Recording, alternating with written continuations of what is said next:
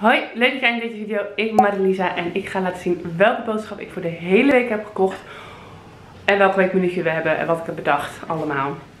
Um, voor degenen die dat niet weten, wij zijn een samengesteld gezin. En dat betekent dat we over het algemeen twee kinderen in huis hebben. En in de weekenden soms vier en soms niks.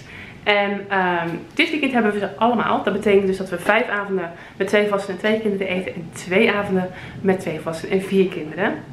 Dus dat is een beetje wat achtergrondinformatie geven over hoeveel boodschappen ik nodig heb. Het is deze week 102 euro en nog wat geworden. Maar ik kon nog geen lege flessen inleveren, want de flessenautomaat was stuk. En ik had er wel 10. Dus dat was even een tegenvallertje. Het scheelt toch een paar euro.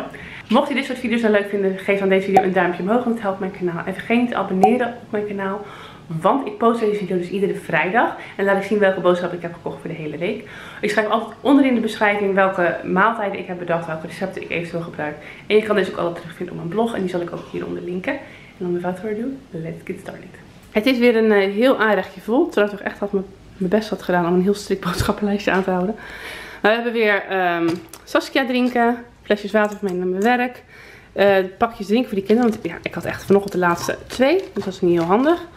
Um, melk was op, dus ik heb even deze meegenomen. Omdat ik de melk van de Lidl niet zo heel lekker vind. Chocomel en fristie. Um, want er staan nu nog wel een pak, maar in het weekend dat de kinderen er zijn, mogen ze dat gewoon drinken. Dus dan hebben we wat op voorraad. Want in zo'n pak doen ze echt één keer mee. Nou ja, anderhalf keer. Dan kan je er ongeveer zes bekers uithalen. Um, siroop, want uh, de laatste is open gegaan. En je zal zien dat die van het weekend opgaat. We eten vanavond um, nasi. Ga ik zelf maken. Ik heb nog gereisd, ik heb nasi kruiden. Uh, dus ik heb nasi groente gehaald, kipsaté voor erbij en kroephoek. We zijn, hebben vanavond met twee kinderen, maar vertrouw me, die eten gewoon alle twee drie sokjes op. Het zijn goede eters, dus uh, we moeten altijd groot inkopen. Dan heb ik op verzoek van Work weer eens worstjes gekocht. Die wilde heel graag sausijzen, zij moesten gewoon worstjes. En, um, oh, daar hebben we wel broccoli bij bedacht. En dan gebakken aardappels, ik heb het even verkeerd neergelegd. Want dat wilde zij graag eten. Um, Logan die wil graag spinazie eten, dus dat doen we dan met uh, want die wilde graag een snieseltje eten. En spinazie heb ik nog in mijn vriezer liggen en aardappels heb ik ook nog in de la liggen. Dan heb ik broccoli gekocht, want ik heb een receptje gevonden met linzen en reps. De reps liggen nu daar ergens. Voor mezelf in plaats van salade mee te nemen naar mijn werk, dus extra broccoli. Um, worteltjes heb ik extra gehaald, zodat ik die ook kon dippen in de hummus. En uh, ook los aan de kinderen kon geven, die vinden worteltjes ook lekker. En dan eten we ook nog een keertje, wat eten we hierbij? Ja, ik weet niet zo goed wat voor vlees ik hierbij had bedacht. Maar, um, oh, de gehaktballetjes van de Ikea denk ik. Met aardappeltjes en speckieboontjes. En we eten een keertje um, spaghetti boerenkool met spekjes en champignons. Het recept heb ik al eerder uh, gedaan en dat is ons heel goed bevallen. We hebben het nooit met kinderen gegeten. Dat gaan we dan dus nu proberen. Dus ik ben heel benieuwd wat die ervan vinden. Ik denk dat ze het wel lekker vinden. En uh, dan hebben we geloof ik deze hoek helemaal gehad. Oh, en we eten ook nog een keertje friet uh, en snacks natuurlijk. Uh, maar die liggen 9 van 10 keer gewoon in de vriezer. Ik heb wel ook kaasvlees extra gehaald. Want die eten mijn vriend en ik. En die waren op. Dus aangevuld. Ik heb ook de roomboter met doen op ons brood aangevuld. Um, want die waren met het laatste pakje bezig. Croissantjes voor mee naar school, hockey, zwemles, noem het maar op. Afbakbroodjes, want als er in het weekend de kindjes zijn, doen we altijd één dag afbakbroodjes voor ontbijt. Um, sriracha. We noemen het sriracha. Um, ik zag hem staan. En meestal hebben ze die niet. En ik heb wel eens ergens iemand gezien die dat op een uh, roerbak eitje deed. En toen dacht ik, oh, ziet er zo lekker uit. Dus dat ga ik proberen. En anders kan het ook eventueel bij de Chinese spullen. Um, nou, de reps dan voor mijn lunches om mee te nemen in plaats van salades. Mini eierkoekjes, want dat vinden de kinderen ook heel erg lekker. ook zomaar als snackje was tussendoortje hummus, want ik ben aan het laatste pakje bezig. De jam heb ik vanochtend opgemaakt. Heb ik komkommer, ook voor de hummus of voor de reps of voor naar school. Helemaal leuk. Extra beleg, kipfilet, gebraden gehakt en boterhamworst. Dat is ongeveer iedere week hetzelfde. Net als een groot blok kaas. Er gaat echt wel een heel blok kaas in de week bij ons heen. Iedereen vindt boterhammen met kaas heel lekker.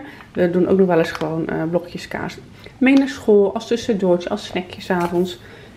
Dus die komt helemaal op. Um, ik heb van de week mijn laatste runderbouillonblokje gebruikt. Dus hij staat in principe niet voor deze week op het recept. Maar um, oh, het handig te hebben. Mandarijntjes heb ik. Ik heb mango's. Ik heb bananen. Appels. Druiven. Tomaatjes. Dat is een beetje alle gezonde snackjes. Um, dit zijn dan, in plaats van dat ik nog heel veel chocola eet, eet ik nu deze als, uh, ja, bij mijn koffie eigenlijk, s'avonds na het eten. En uh, Pascal vindt het ook heel lekker en de kinderen vinden het ook heel lekker. Dus die was echt na één week af gewoon op. Um, ik heb cashewnootjes, want ik heb s'avonds wel een trek. En dan deed ik heel veel uh, van die soepjes nemen. Maar soms heb je gewoon om wat te knagen. Dus die heb ik meegenomen. Um, en ook weer nieuwe uh. Want uh, die waren dus ook bijna helemaal op. Ook wel nog van Boze gekocht. Deze waren nu in de aanbieding. Echt voor zo'n klein dingetje. Echt 1,25. Maar ik weet dat Fleur, de dochter van mijn vriend, die heel lekker vindt. Dus die heb ik eventjes meegenomen voor haar. Paracetamol. Want het, zoals je hoort ben ik verkouden. En moeder is dus vaak de laatste. Maar daardoor zijn de paracetamols ook wel op. Um, kauwgom. Dus eigenlijk, ik weet normaal gesproken nooit niet koken. Dus ik heb hem ook gebruikt.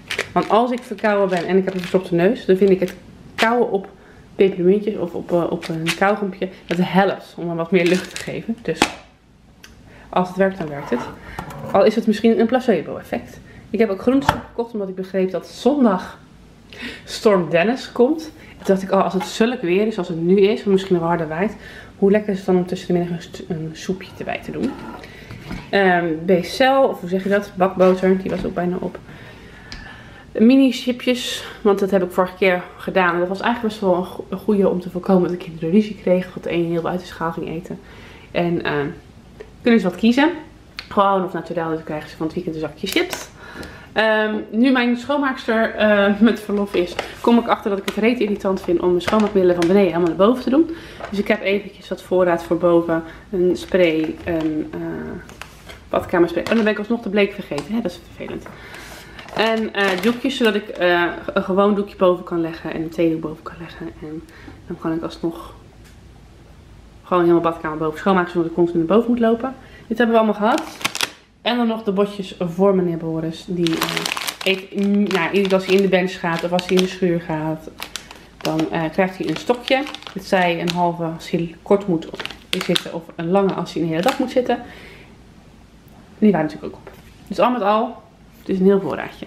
Zoals gezegd waren dit 102 euro en nou ja, een aantal cent aan boodschappen. Ik kon de lege flessen niet inleveren, want de lege flessenautomaat was stuk. Want ik had wel 10 flessen om in te leveren, dat weer een paar euro verschil.